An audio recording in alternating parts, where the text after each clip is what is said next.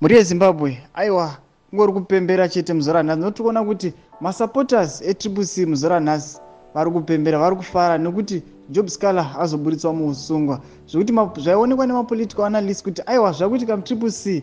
Aiwa panenge pane zvauda kuitika. Nekuti kubuda kwakaita vanelson chamisa vachibuda bato retriple c kune vamwe vaitaura vaiti aiwa iyi plan yezanupef kuda kuburitsa job wewascala aiwa muri vezima vasati apinda munyaya iyi ndokurudzira jibva wasubscribe wolike wotina on the bell icon.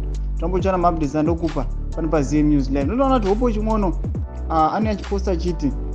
Zimbabwean political prisoner job scaler who spent 595 days in prison without bail has been given a three year suspended sentence. Aiwa muri yezimbabwe tiri kuona kuti job scaler azoburitswa muusungwa fainali muzvarara dzinovapiwa 3 years sentence. Saka vanhu vakawanda vanotaura vamwe vachiti aiwa inhema. Asi kana muchiona takupublishirai nhau idzi tiri kutoraura zvatova confirmed ichokwadi job scaler aburitsiwa mujeri.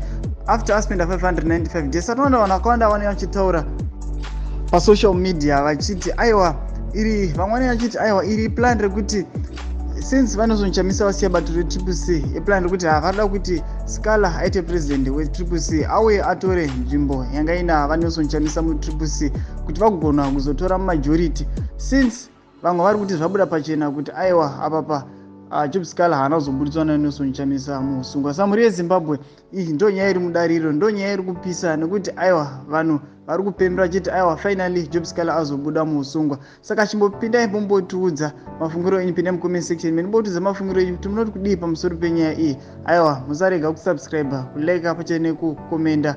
Aiwa muchitiudza mafungiro enyu. Tirambo muchiona maupdates atokupai pano pazm news live